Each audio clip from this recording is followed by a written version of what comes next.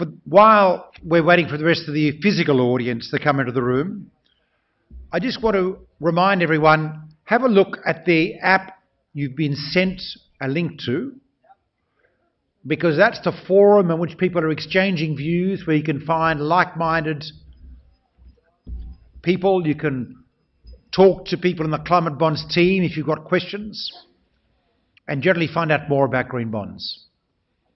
Also, the Climate Bonds website, which, as you would guess, is called climatebonds.net. If you search for climate bonds, you'll find it, is full of resources, reports, including around transitions and taxonomies.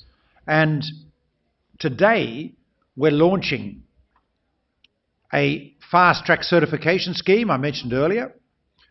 We're launching our finalised cement industry taxonomy criteria, and we're also launching a 101 ideas for governments to get to 1.5, fiscally efficient, in draft form looking for comments. That is, we're beseeching, we're asking, we're pleading with you. See, tell us what you think. And we'll keep improving that with the idea of a more substantial launch for the COP in Egypt a little later this year a lot of the work that we do, that everyone needs to do in this market, is iterative. That is, we need to keep improving. We're not going to be perfect, at least not until we've managed to stabilise the global climate. We'll keep learning and keep improving. And that includes in the detail, like the 101 guide that we're publishing, where we'll continue to ask for ideas from a vast group of people around the world, like yourselves, that are thinking about this and trying to think about what to do. The next panel that we're about to run is on the topic of taxonomies. Now, I call taxonomies the shopping list for the future. It is a shopping list. You've heard me say, if you've been here earlier today, that we need to make an understanding of what to do simple and clear. While we have formulas, we will slow development and growth of this market. If we can find ways to say, here's how you tell whether something qualifies, it's pretty simple, things will change quite quickly. Financial markets grow on the back of commoditization and standardization. That underpins the theory behind all of this. A little bit of a story about the history of taxonomies. The green bond market grew out of an initiative by the World Bank and the European Investment Bank before that, the real initiator, but theirs was called the Climate Awareness Bond in 2008, to attract new investors to their books. In the ESG framing that had been common in the 10 years prior to that, the analysis was about entities, was about companies not about what companies were doing, except insofar it affected the tracking filters, ESG filters, on top of companies. What that meant was there weren't many companies that qualified. For the level of equity invo- investment at the time, there were more than enough. But the bond market is A, larger, and B, dominated by higher rated. And there weren't that many companies that were high rated that were meeting the ESG criteria that were common at that time, including a lot of development banks that were being excluded who didn't have equity for a start and wanted to try and place investments. So when people were looking at ESG, they were trying to find a company that qualified they could invest in. The climate, the climate awareness bond issued by the European Investment Bank was designed to bring new investors to the book who hadn't been part of the European Investment Bank's fixed income client list prior because they were investing the proceeds in activities that were seen to be of interest to, in this case, Scandinavian investors. It worked. Very soon afterwards, the World Bank copied the idea in the Green Bond. But a little bit of a secret history of the World Bank Green Bond. When they first knocked on the door, Yolanda might remember this, she was around then. They first knocked on the door of investors in Scandinavia and said, We want to do a green bond like the European Investment Bank, here's where we plan to use the proceeds. Swedish investors, who can be very skeptical and very tough, said, I'm just not sure about your portfolio that you're allocating funds to. And also, your CEO, Robert Zoellick, at the time, is not exactly known as a greenie.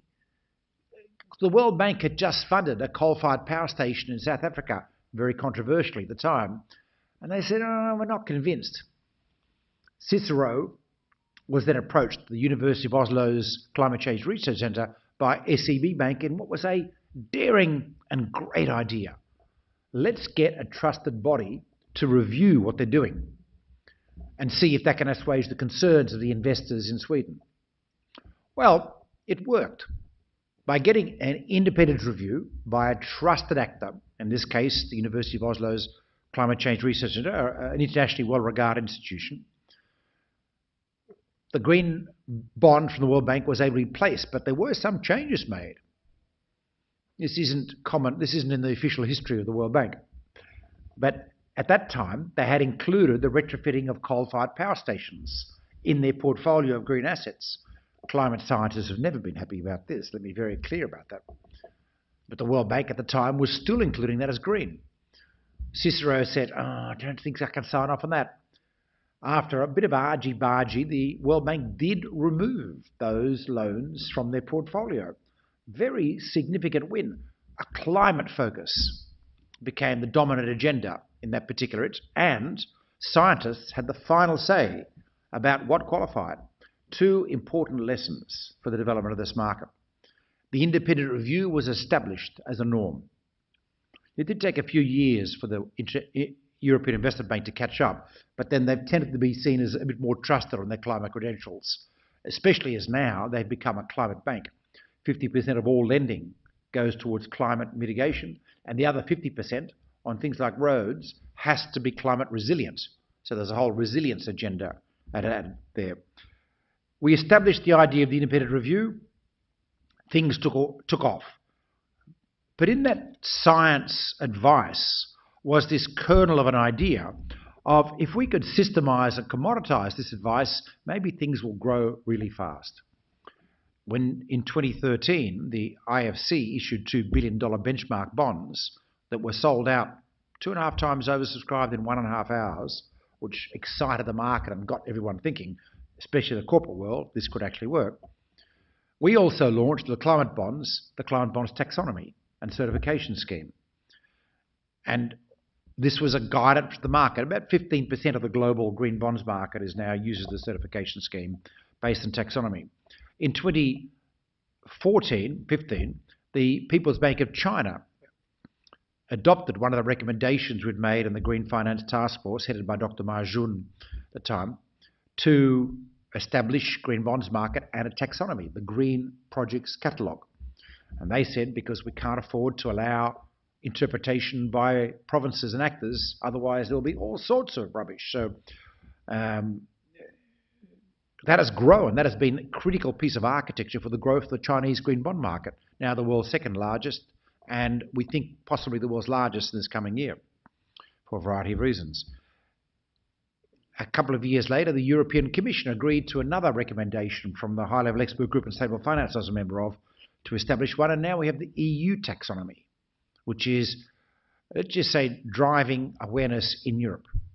It's being used not just for green bonds, but also for the sustainable investment disclosure regime that affects all companies, major companies, banks and investors in Europe will be disclosing annually around their sustainable investments. That taxonomy is a bit more a work in progress. We'll hear a little bit more from Nadia Humphreys in a minute, who will, who will join us. But you can sort of see how this has gone. And now, of course, we have the Singaporean taxonomy. We have the Vietnamese taxonomy. We will soon have the Thai taxonomy.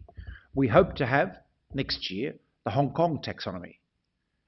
The Indian taxonomy is in published in draft form. And I'm going to say we've had a bit of involvement as climate bonds in all of these to varying degrees, with an objective of keeping them broadly aligned. You heard in the earlier session about the need for harmonisation. It's a work in progress, but we are a long way along that road. There's necessary tailoring for different markets, but broad broad acceptance. There are differences. Yolanda might pick out a couple of those because she's been in the thick of those, but the, the methodology is largely the same, is the key thing to note. And it's going global. Taxomania, we like to call it. A key part of these taxonomies, a key feature, is the science base, the necessity of reflecting necessary ambition. Yes, make it easy, but yes, be rigorous. Sort out some of the boundary issues, and above all, avoid the accusations of greenwashing that investors don't want to have to be tarred with. Heading off problems is a key part of it. In some ways, it's also now become a risk predictor. That is, taxonomies are being used by investors in Europe as a universe of investments that are less likely to be negatively impacted by future policy changes and more likely to be positively supported by policy impact. In other words, a lower risk universe. Now that is exciting and that's driving price movements and all sorts of other things. But let's hear more about it. I would like to invite onto the stage first Yolanda Chung, who's the head of sustainability at DBS and has a history as long as your arm working on sustainable finance. One of the heroes of sustainable finance. I'd also like to invite on screen, and hopefully our tech people can get the screen going, Eugene Wong, who's the CEO with Sustainable Finance Institute of Asia, is, has used to be at the Malaysian Securities Commission, and is currently advising the ASEAN Taxonomy Board, made up of central banks and regulators, on ASEAN approaches to transition taxonomy. And if I can get one of my team just to see if we can get the screen working, that'd be wonderful, because we need to be able to see our speakers on screen. And also we'll be joining us in a minute, Nadia Humphreys, who is the head of Sustainable Financial Solutions at Bloomberg, based in London, and also a member of the Platform on Sustainable Finance with me in Europe. Perhaps more pertinently, she's a bit senior than me because she's the co-rapporteur of the usability work group of the Platform on Sustainable Finance, and she's going to tell us a little bit about that. I'm going to sit down, and here they all are. Nadia, thank you for joining us at 8 a.m. in London. Uh, luckily, it wasn't 5 a.m. She got a terribly frightening email alert earlier that, um, that worried her about her sleep. And, um, and thank you, Eugene, for joining us from Vietnam.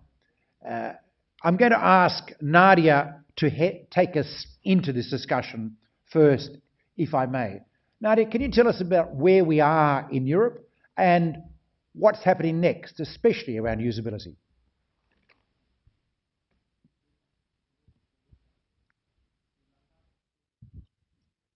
No audio, folks.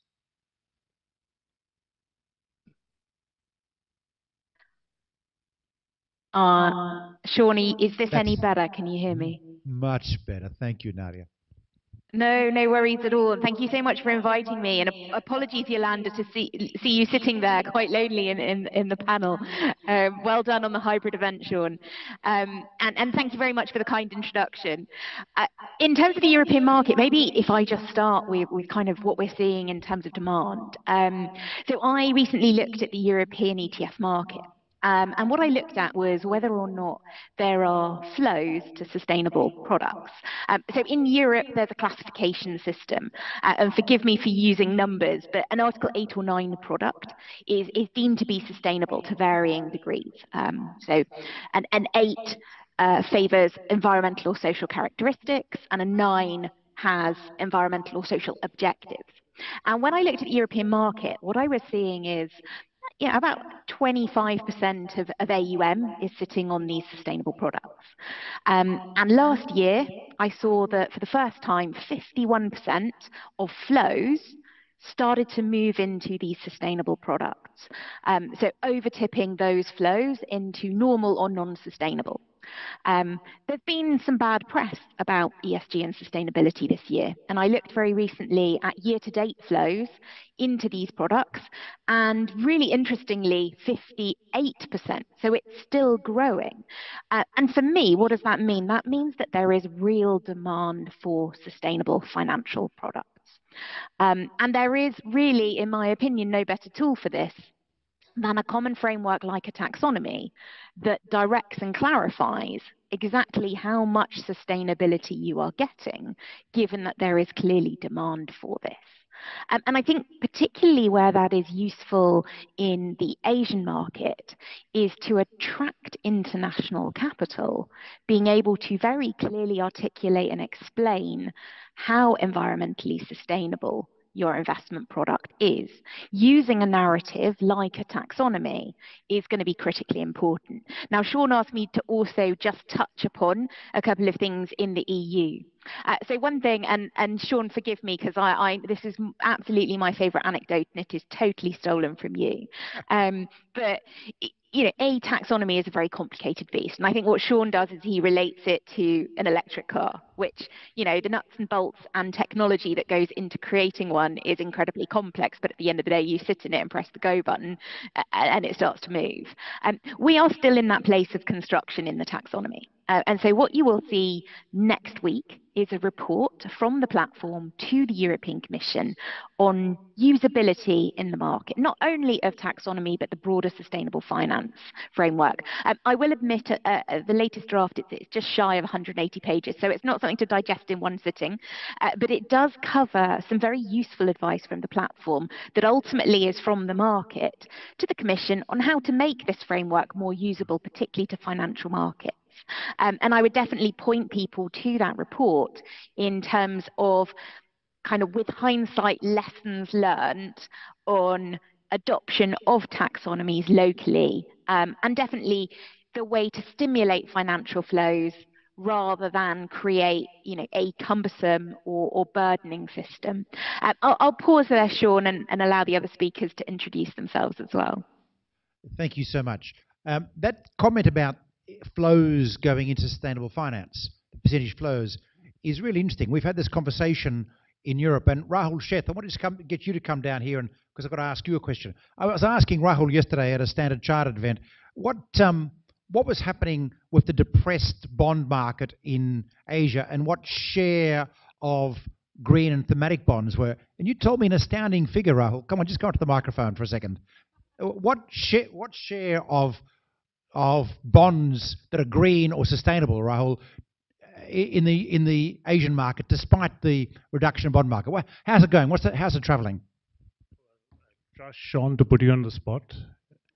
Uh, yeah, so the, the number was actually 33%. So when you look at this year, where Asia ex Japan G3 bonds are, are down, bonds themselves just are 50% down uh, in Asia the most interesting uh, piece of statistic that I can find for clients here is 33% of all bonds, conventional or otherwise, are ESG labeled.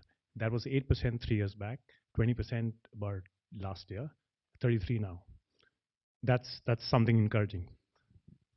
Thank you. That's pretty extraordinary that this is happening anyway. So that's a lesson learned for all of us. As bond markets rebound, you're going to see an extraordinary change. This is my segue now to Eugene. Tell us about the work of the ASEAN Taxonomy Board, Eugene, and also what you're seeing around appetite, because you know you and I have been talking about green bonds in particular ever since you were working for uh, regulators when you were Malaysian Securities Commission before. It's changed a lot. What are you seeing, and what are you doing? Hi, Sean. Well, uh, first of all, I must uh, commend technology. Rahul actually beamed into the uh, uh, conference I'm at in Hanoi, and now I'm beaming into the conference he that he's at in Singapore. Um, so, Sean, you know, you and I have been uh, working a lot on green bonds and sharing a vision. And uh, we first started in Southeast Asia with the ASEAN Green Bond Standards, if you recall, and that's something that you were involved in as well. And in ASEAN at that time, we decided in 2017 that we needed to have a common definition and we wanted to experiment with one. Uh, so we used the ASEAN green, uh, we used the uh, green bond principles to uh, create the ASEAN green bond standards. But again, you remember, Sean, it was a very uh, interesting uh, experiment because we decided to specifically exclude fossil fuels. Now, no one else had done that at that time. And I remember us having this conversation and you were awfully encouraging that we should do this, and we did do it.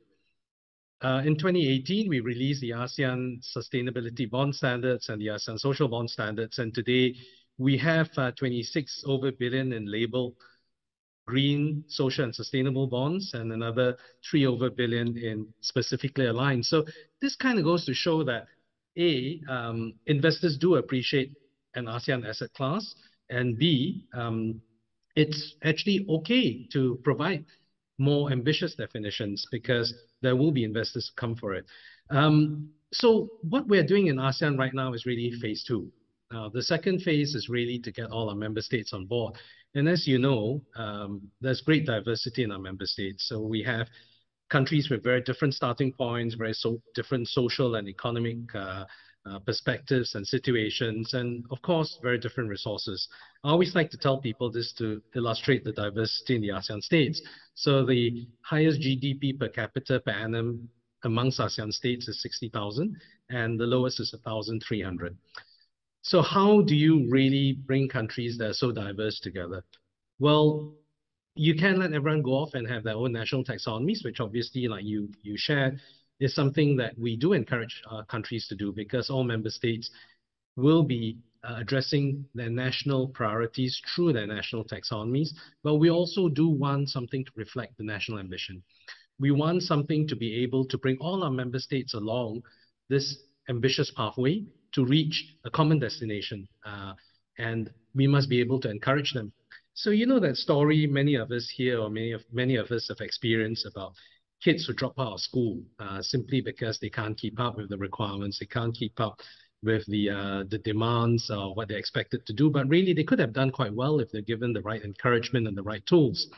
So it's the same uh, in Southeast Asia. What we want to do is to ensure that everyone starts the sustainability journey right now.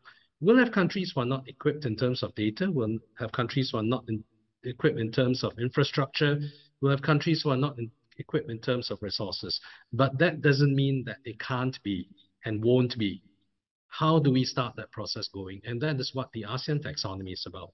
The ASEAN taxonomy is really the overarching guide for ASEAN. It's the common language for ASEAN. It's the guide rail for ASEAN. It's supposed to bring us all along on that journey. We may all be at different starting points, but we want to be at the same ending point. And therein lies the big opportunity and also the big challenge. What does it mean to have a taxonomy that's inclusive, that's the overarching guide, and importantly, is going to facilitate transition in the region? So we've constructed the uh, ASEAN taxonomy to do two things. The first is we don't want to ignore the global efforts that are being undertaken, right? I mean, taxonomies were really created to reduce fragmentation, but if you have 30 taxonomies floating around, it's just going to increase fragmentation. So the first thing we've done with the taxonomy is actually to ensure that it is, in terms of design, interoperable. Right? We have to worry about the thresholds later on, but in terms of design, it needs to be interoperable with the major taxonomy. So let's just compare against the EU taxonomy. The EU taxonomy has six environmental objectives. We have four.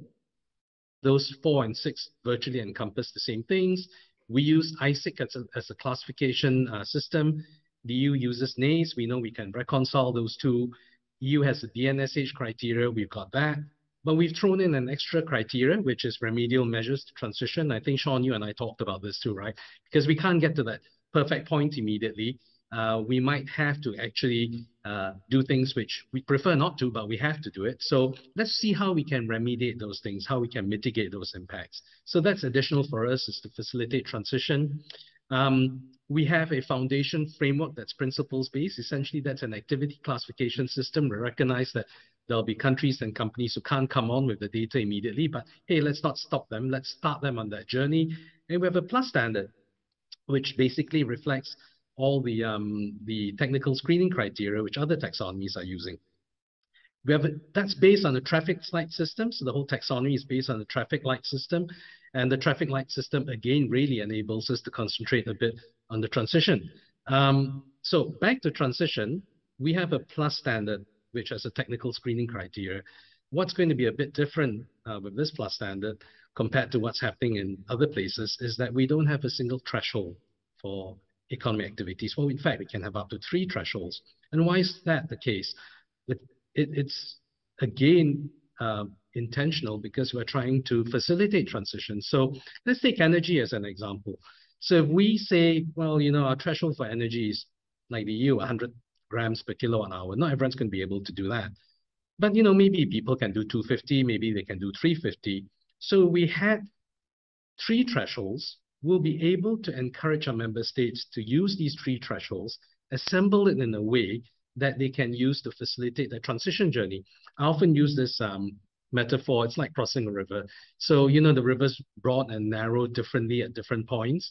Uh, and if you had three stones to use as stepping stones to cross the river, and people at different points of the river, they'll arrange the stepping stones differently. And that's what we want uh, our member states to do the tiers.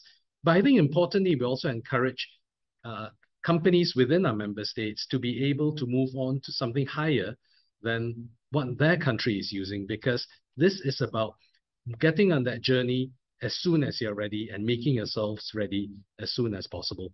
So really, the ASEAN taxonomy is the overarching guide and common language. It's meant to keep us all honest, keep us all within the guide rails. It's meant to complement uh, our national initiatives and move us as quickly as possible because we know that perfect isn't good enough, but we must be ambitious enough and we must avoid the lock-ins. And I'll just stop here for now, Sean. Fantastic, Eugene. Thanks. Um, quite a journey. Yolanda, we first met when you were in Standard Chartered. That's Rahul Sheth's organisation a while ago. Uh, but I discovered recently that we had a common friend, Tessa Tennant, who was um, the, the doyen, uh, one of the founders of the responsible investment industry, really. So you've been on a long journey of trying to drive change in multiple institutions, and then you've had this very cool gig, DBS while. And one of the things you've done is taxonomy work, right? Implementation. Of course, banks and corporations and so on ask, is this going to be hard? Is this going to be difficult? I mean, can't I just keep it easy and have, say, like a uh, nice, gentle 2050 target? Um, can you tell us about your experience internally? Great. Well, every time I speak to Sean, he betrays my age by suggesting that we've known each other for decades. um, when DBS first thought about, okay, we are headquartered in Singapore, our primary markets are emerging economies, what should we do about sustainable finance? Um, we kept thinking about what would be realistic. And then um, we decided to develop this transition finance framework and taxonomy, which is considered really foolhardy to do because taxonomy should be the work of markets, regulators, think tanks like CBI, not a bank to try to dictate what is right or wrong. But the approach that we took was to look at the origin of the word taxonomy. It's always very funny that we try to appropriate scientific terms, adopt it in finance, but taxonomy really is talking about what science says. And we go down to the root, look at what science says, rather than thinking what society says, what public opinion says, what the economy says will be feasible. So I think I really agree with what Eugene said that a traffic light system that many of the recent taxonomies have adopted is a very realistic way of understanding what is that label referring to. Uh, we want to get credibility to the things that we finance if certain economic activities are not in the, in the taxonomy, that tells you something. That doesn't preclude financing later on, but it does tell investors the signposting of the attributes, whether it's sustainability or not, uh, of those economic activities. So, so that's one thing that we have done. We look at science. Another thing that we approach taxonomy is that because we were thinking about transition finance, and we looked at what is what was in the market, most of the transition finance guidance is very principles based. So everyone is trying to skirt around the edges, not talk about what actually is transition. Um, and as a result, we find that it is a void that we would like we would attempt to fill. So for our taxonomy at DBS, we didn't try to map every economic activity under the sun. We only map the economic activities that we already finance. Um, and we put out a table looking at the alignment with the international best practices, such as the taxonomy that CBI has um, and ICMA and others but we try to make it beyond principles based.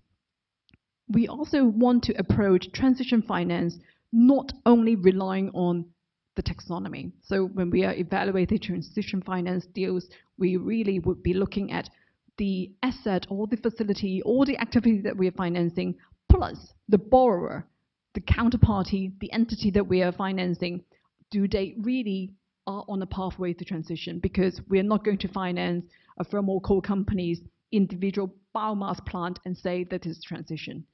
But we have done something to that effect because we have looked at the borrower's overall strategy. So I think for us, the challenges we try to overcome by looking at not just the individual asset attributes, but also at the organization. Uh, how hard has this been? Not so much to develop the taxonomy, but implementation, looking at lending programs, getting bank officers engaged.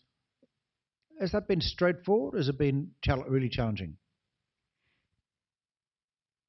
It has been challenging with clients who looked at transition, that particular label, under a taxonomy as some sort of inferior label that they believe that I would prefer being called green if I could. I don't want transition. So it took a little bit of convincing and education, and I think with the emergence of a lot of the recent taxonomies focusing on transition in the amber part of the traffic light has helped. It has been also difficult internally at the bank because people actually talk about transition finance with different interpretations. Some people actually talk about transition finance interchangeably with sustainable finance because they're thinking, oh, I'm transitioning the economy, hence it is transition finance. But we apply that label very judiciously. We look at the organizational strategy, we look at the individual asset that we are financing, we benchmark it against a reference pathway that is hopefully 1.5, if not, you know, not too high a temperature um, uh, indication. So with all that coming into play, we have not done that many transition finance deals. Uh, but we're quite proud of some of the ones that we've done, including some that are quite contentious because the counterparties involved, the borrowers involved, would be the fossil fuel clients looking to divest, diversify, decarbonize. Uh, Nadia, in the European taxonomy, we've incorporated transition within the broader sustainable universe there. The, the, the transition terms got confused and muddied and isn't very, let's, I, I think, or at least this is what people are telling me in Singapore today, isn't well, isn't very visible in the European taxonomy. We've also got enabling, we've got resilience and so on. I'm wondering your thoughts about the utility given you've got a broader perspective on the bond market in U Europe as well. And then I also would like you to pick up on the utility question, what sort of things we're doing to make the electric car easier to push the button on, to give everyone a flavour. Thanks, Sean. Yeah, I think transition, you're completely correct, is, is actually widely misunderstood for the EU. Uh, so the narrative around the EU taxonomy is that, you know, the thresholds are very high, there's very limited numbers uh, of companies that are seen to be substantially contributing to at least the mitigation or adaptation objectives as written in the current Climate Delegated Act. Um, actually the the concept of transition exists sean as you rightly point out. So there are transitional activities. So for example in, in manufacturing uh, steel cement etc tracks uh, the eu emissions trading system which you know will have a trajectory to decarbonize over time. So those thresholds will change. But similarly, transition is actually baked into the technical screening criteria. So I'll give you an example. If you uh, build a house, uh, the expectation is on the energy performance being at a very high standard, ultimately top 15% of primary energy demand, um, or EPC-A in, in kind of local European terms, of a brand new property. But that's not to say that if you have a very low and energy inefficient property, you can't improve it. So there's a separate technical screening criteria that looks at renovation and says, look, we want you to deliver 30% energy efficiency. That's great because that doesn't mean that you hit this EPC A level at the very maturity of that investment. It's just that you deliver 30% energy efficiency, which is clearly critical in Europe because you have a lot of old housing stock. And so you still want to encourage that movement. Um, the other thing that we've really noticed, Sean, just in terms of data, so um, there is an obligation right now on European companies to report something called the eligible portion of, of revenue, capital expenditure, and, and operating expenses aligned to the taxonomy. So eligible just means is it captured? And then next year, you have to start reporting this alignment figure. Uh, what we've observed in the market, so there's about 2,000 companies in scope for this reporting. Um, already of them, just over 1,000 have started reporting these eligibility figures. Uh, and actually what we're seeing is, is 50%, so just over 500 of them, are already voluntarily reporting alignment, so starting on that journey a little bit earlier in terms of testing out the process. One of the metrics that we are really seeing, and, and rightly so, is that the capital expenditure values, those are being aligned to the taxonomy, i.e., there's a commitment at maturity of that expenditure that you deliver a substantial contribution and do no harm. You have the opportunity to invest. So, capital expenditure, ultimately funded or not funded by debt instruments, is, is the most important metric of transition. And quite rightly, like turnover, yeah, it's not. And that's true. There are not many companies today that are performing and making revenue in a way that is aligned to 2050 net zero. Correct. But actually, the place you want to focus in is use of proceeds of debt instruments and capital expenditure that is aligning itself to these taxonomy criteria. And focusing on those numbers ultimately will yield you a turnover value. And when you look at financial organizations, they're required to report both. So this forward-looking capital expenditure, and they're reporting the turnover or revenue. And so you've got this current performance versus future performance metric that is reported today and gives a much cleaner picture. So when we start to play around with the data, Sean, there is already a transitional picture emerging. Um, and, and I think often the narrative is forgotten there, and there's a lot of narrative that the numbers very small. And what I see in the media quoted is typically a turnover-based numbers at the revenue performance, uh, which is fair. Um, so I think I, that that maybe answers the first question. You talked a little on utility. Uh, so I'd mentioned just over a thousand companies have reported their taxonomy. Um, they have a very strict structure by which they do that.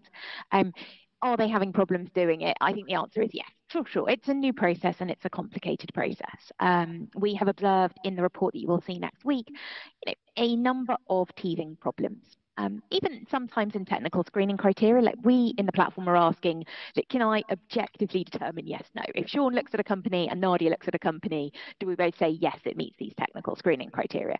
Uh, in not all cases is that possible. So some of them are a little bit subjective. They'll say words like minimize. Uh, Sean and I might have different opinions about what minimize means and whether a company meets. Um, so that there is a layer of complexity. We've asked the Commission just to give some supplementary guidance and support to the market to help them through that. Um, and then probably the, the biggest ask, and, and I think this touches on Eugene's point a little earlier, is international application. So one thing we've observed in the market is non-EU companies are reporting using the EU taxonomy. So not their local taxonomies, but the EU.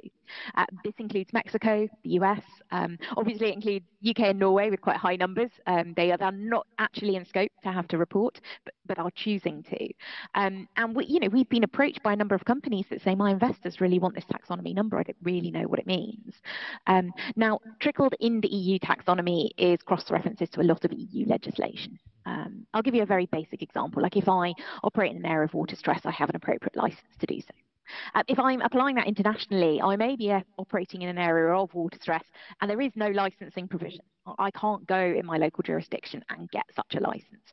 So what does that mean for me? Does that mean I definitely shouldn't be operating in areas of water stress or does that mean I kind of can as long as I do it sensibly and how do I show sensible? So those international comparisons of criteria are really critically important. And you will see we have actually in our usability report devoted an entire chapter to international operability and the importance of this. And also for the EU ultimately to recognise reporting. I think the, the main point Eugene was making, and it's quite right, although it's principles based, is when it is applied, you don't want a Asian company having to report on two different taxonomies or multiple different taxonomies to satisfy investors. So it is really important that if I am reporting under the Singapore taxonomy, that an EU investor can apply that value and state for my EU sustainable financial product, that company counts as X percent aligned because it is aligned to its local taxonomy. And you know, if there is one place of advocacy, and I know Eugene and I talk about this a lot, is is kind of really pushing on that international operability for it to, to work uh, over the long term. Sean, I hope that appropriately addresses your question. perfect. I think, Eugene, this is a segue to you. Um, from ASEAN, this equivalence issue, this is going to dog us unless we can sort it out, right? But you've got a problem within ASEAN, haven't you? Or, or do you think that's going to work between, say, Singapore and Indonesia and Vietnam? Tell us where that thinking is about, regional equivalence. Yeah, well, this is the big challenge that we have in ASEAN. As you know, ASEAN's not quite the um, regional bloc that the EU is. Everyone's a sovereign state, um, and it's it's really a cooperative arrangement under a charter. So the um, way ASEAN approaches things is through consensus and through inclusivity.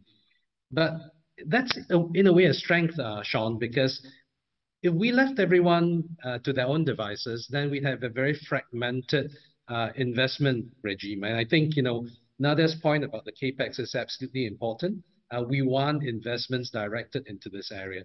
And the way you direct investments into this area is if people who are putting the money in understand what they're putting their money into and are comfortable with it. Um, so we really need to kind of like bring everyone into a journey of transparency, right? If you can't do something, it's all right. I mean, my mother used to say, always tell the truth as long as you know you're going the right way. And that's what we should do right here. Uh, so we, you notice that with the, the plus standard, which is our equivalent technical screening quite criteria, we actually are open to having multiple tiers. And the reason why we're having multiple tiers is eventually, hopefully, um, one of those tiers will resonate with each of our member countries. So every member country has a tier that they could look at. Now they disclose that tier. Is that going to be the level that we really want from them? Yes, eventually, but not perhaps not today. But we want them to be able to set a target to say, well, I'm at tier three today, and I want to move up to tier tier two in 10 years, and another another 10 years we're at tier one. That's what we want them to do. That's what that's the ambition we want them to create. Now, if they can do that, then of course within ASEAN, we will have an understanding where everyone is at. If we can make this disclosure very transparent, um, then it comes back to Nadia's point, right? That other um, jurisdictions will say, well, we recognize what these guys are trying to do. They can't get, I mean, they can't, and we don't expect them to get to a particular level immediately. I mean, transition is about avoiding social and economic dislocations anyway, but they've got a plan to get there. Right? It's about the plan. They, they're going to allocate capex towards this. So that settles um, the interoperability issue, whether it's amongst the ASEAN member states or it's ASEAN and the rest of the world. And I also wanted to touch on something Yolanda raised. I think it's really, really important that we understand transition is really not about kicking the can down the road or backloading. And again, this is where the tiers in the taxonomy are important because we need people to be very clear that there is a plan to move up that techno that uh, tier uh, sort of regime that they are improving consistently we don't want this backloaded, right? So 2050 is my net zero target, but hang on, I'm only getting to tier one in 2049. That's not what we want. We don't want the backloading. So the tiers are meant for you to be able to chart a pathway. Um, and that's how we hope that this will work. Okay. Uh, well, it sounds good, although I suspect there's lots of areas to argue and it could be complicated. And for that reason, I'm going to ask someone at a bank whether this is navigable because you're going to have different taxonomies in different countries. You've had to look at this, Yolanda. Is he mad? No, we agree with what Eugene is trying to do for ASEAN. Um, and similarly, the individual ASEAN countries' taxonomy will be consistent with the ASEAN version. What I think would be important for all of us to bear in mind is what if there is no taxonomy? You know, there was, you know, not so long ago, there wasn't any taxonomies for us to fall back on, and we look at the very crude, broadly described, very nebulously defined green categories under ICMA's first version of green bond principles, and we thought, okay, well, if it is at individual organizations' discretion, then a lot of things go. Um, so I think for a bank, when we look at a variety of taxonomies, what we want to follow would be ultimately what investors want. And we know investors do come in a spectrum. And we also know investors don't pore over the 100 pages of prospectus trying to work out is it aligned with what we want to or mandated to, um, to invest. Hence, the emergence of taxonomy to make it easier, to make it straightforward, that is usable. So I think um, taxonomy does serve a very important signal. It's not the be-all, end-all. I'm very glad that there is actually a very contentious debate when the EU taxonomy was trying to work out, do we include gas, do we include nuclear, because we know those industries are trying to lobby very hard to be included, knowing capital will be deployed to the green assets in you know the not so distant future. It's not as if they feel taxonomies don't matter, whether we are in it or not, we'll get financing. No, they know the consequences of being included in the taxonomy is huge. So I think um, we see a role for common framework um, when we have competing taxonomies, we will look at what our primary investor base will be demanding. Uh, Yolanda is referring to the European Commission's European Parliament's re recent adoption of an amendment to the taxonomy, which brought in nuclear and gas. I'm going to talk about net gas though. The nuclear is restricted, but is in there. And look, now, while I'm frankly not a big fan of nuclear, although some of the smaller reactors look interesting, um, it is low carbon. Let's be clear about that. You know, so if you're going to do something which is low carbon, it's better to do that than a coal plant, no doubt about it. Uh, the gas inclusion, which was a deft political compromise by the president of the European Commission when pushed by Emmanuel Macron in Paris and uh, Angela Merkel in Germany, is it's got so many caveats on it. It's a Pyrrhic victory for the gas industry. Um, so the headline was, oh my, I, I, had calls from governments in ASEAN. Oh, so Europe's green lighted gas now. We can get gas now taxonomy. Well, the headline is bad. It's very confusing. But in practice, you can only build a gas plant if you're replacing a coal plant. And then you can only build it to 15% of the capacity of the coal plant. And then you have to prove that you couldn't have built a wind and a solar farm instead of that plant. And you have to make sure that in 15 years it's very low carbon. In other words, you've got to, there aren't getting many plants built. This is impossible. So it's a bit of a Pyrrhic victory understand that. We'll be publishing something about that soon to provide some more guidance. But it's messy because the headline is confusing. Given the conversation on the IPCC and the International Energy Agency right now is around the incredible leakage from the gas sector. We have in the first delegated act of the European Commission said that we must be measuring life cycle emissions. We provided an agnostic measure of emissions, 100 grams of CO2 per kilowatt hour in the energy sector, but you also have to measure emissions from wellhead to usage because we found, and look at some of the maps we published in newspapers lately, this huge leakage in the Russian gas pipeline and also in Texas and also in other parts of the world, eh, in Turkmenistan, which is blowing out all our figures, whilst Germany has increased its 50, by 50% its usage of gas up to the war in Ukraine, for reasons we now understand were political meddling by Russia, let's just call it that way, their actual emissions profile seems to have grown much more once you take into account the leakage factors across the life cycle. So these are the sort of tough discussions we're having now in understanding taxonomy. But the good news is we're having those discussions at taxonomy development. So for those people who don't have time to follow the science, because to be honest, it's complicated. There are all these bodies, including the MAS-led group in Singapore, which Nadia, you've been on too, haven't you? And I'm going to ask you about any differences you see so far, just for full disclosure, everyone, between where we're going in Singapore and where we've been in Europe around this, because these are the fora where these things are being discussed and being sorted out to make it easier for the rest of us. Nadia, are we on the same page between Singapore and Europe, or are there differences that are problematic? Tell us what you're allowed to tell us. Absolutely. Well, there are certain amounts of what the work of GFIT uh, has been doing that has been open to public consultation. I'm very happy to talk to that. Uh, and what you will see for those sectors is absolutely, Sean, there is alignment between the EU and Singapore. Uh, you know, within the debate of that group, we often focus on international operability. We often focus on usability debate.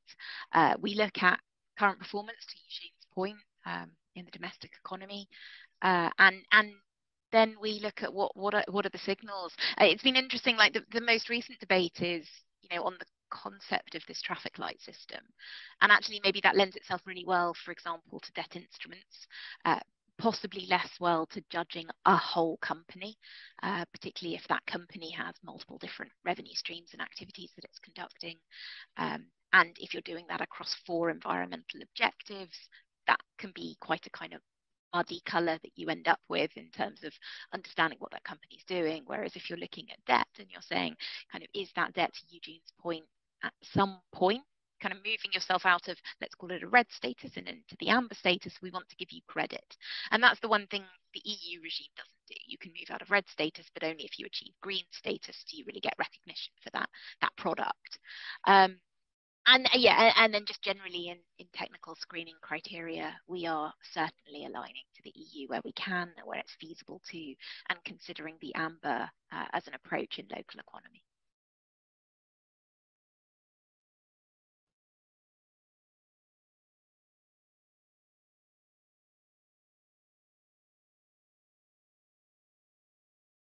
Transition, uh, specifically. But what about industrial transition? What color is there in that what can we learn? You know, the steel sector, the shipping sector, which is so big in Singapore, of course. Where has that gone? Just give it a bit of a flavour. We need to move to wrapping up. I appreciate we could talk for a while about that, but I just want to find out where are you at on industrials?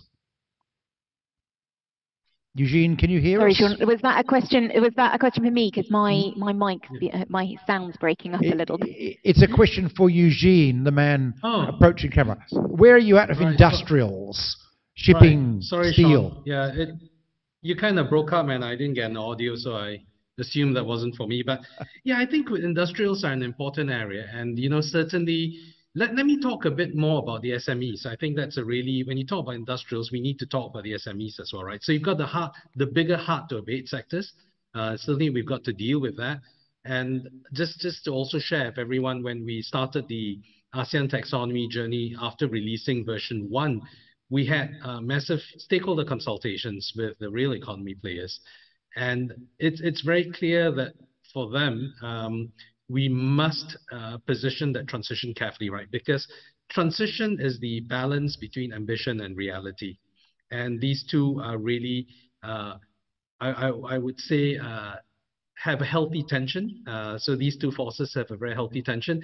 If we don't push the ambition far enough, then the reality is always going to be a straggler. And if you don't push the, the reality uh, enough, then you have an ambition that cannot be achieved. So we're always trying to get that ambition right. So first, hard to abate sectors. I think this is something we really need to get correct. Uh, it, we are, ASEAN is generally an emerging economy bloc. These things are important to help us with our decarbonization journey. But again, uh, we must be very clear that the exits are there. I think that's the first point. The second is with the SMEs, right? Because when you talk about industrials, we also need to talk about the SMEs who form the backbone of the Southeast Asian economy.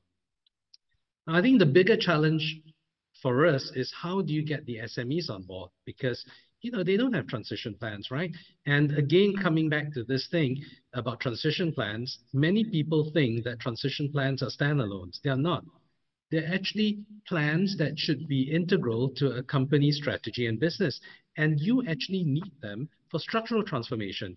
It's not a question of having it just to please a banker, an investor, a customer. Now, I think what is really important is that we build a sustainable finance ecosystem which has the taxonomy, transition pathways, and disclosure, and we move everyone along that ecosystem to ensure that we have structural transformation. I saw Sean looking at this, so I'll stop. That's good. That's good. Uh, look at the watch because we're out of time. Great finish, Eugene. Thank you so much. Yolanda, last thoughts, last reflections for us about where this is going and what we can expect going forward. Well, if I may, I actually want to answer your last question, which Oh, was about it. industrial decarbonization. I think this is where we expect to see a bit more technical screening criteria, the adoption of a threshold quite useful. So, for example, you talk about um, mining, you can have a nickel mine, you can have a smelter, you can have the captive power plant, and then you look at the carbon intensity per unit of production. And if you have a number that kind of indicates the ballpark of what a low carbon ferronickel is going to look like, that number would be the reference, whether you're above or below, whether you are coal firing with biomass or you're only using thermal coal, any of the industrial processes in the smelting that can be decarbonized. So I think in some economic activities, the technical screening criteria, the threshold can come in very handy for evaluation. And I'm glad you better segue. We've got a mining mineral critical minerals working group starting at the moment. So we'll be publishing a climate bonds criteria and providing that information to everyone else uh, over the next six to six to eight months.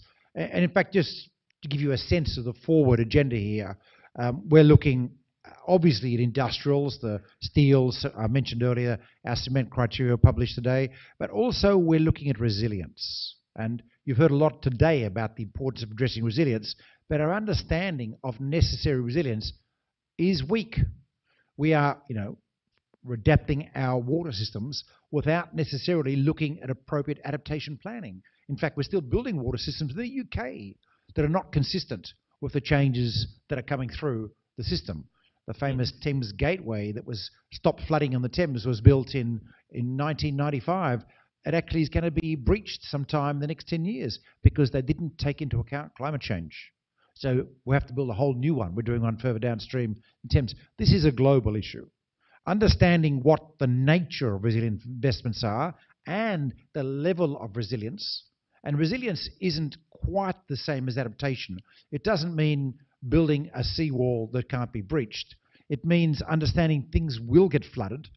We need to rubberize the electronics in the subway so we can just pump the water out the next morning and it'll start working again. That's a resilience approach, if you like, is necessary. But it's also social resilience. We've learned from the pandemic what we have to do to get our societies back together again when we have a crisis. Economic resilience, shock absorbers, and so on.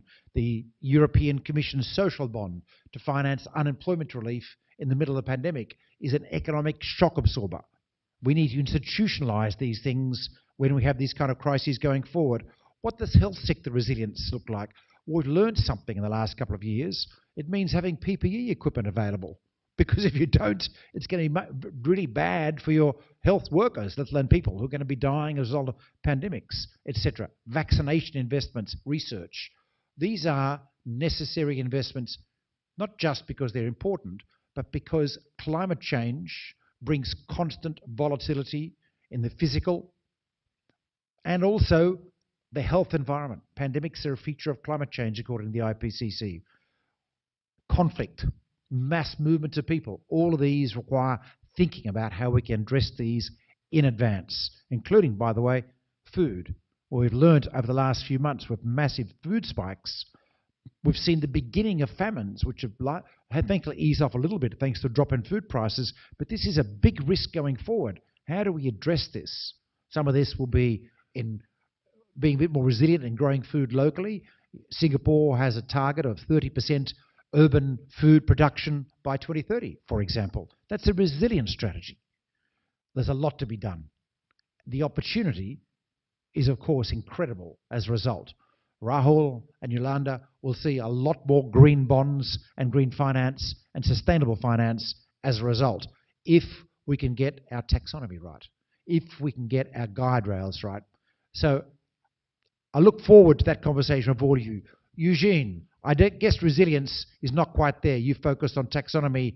Have I said anything out of court? I need to check in with Eugene because he's my ASEAN mentor. Well, Sean, I think we've been mentoring each other and for the better. Um, so absolutely, I think resilience is something which is naturally built into this. When we talk about the sustainable finance ecosystem, what the taxonomy is just one part of it. It's one of the three pillars. And that ecosystem must be able to create a mutually reinforcing um, uh, self-contained system between uh, the real economy and the financial system. And that really must be able to bring us on that ultimate destination of resilience that we all need. Fantastic. Thank you, Eugene. Thank you, Yolanda. And thank you, Nadia, all the way from London for joining us today. Please give them all a clap. Fantastic panel. And fantastic work, more to the point.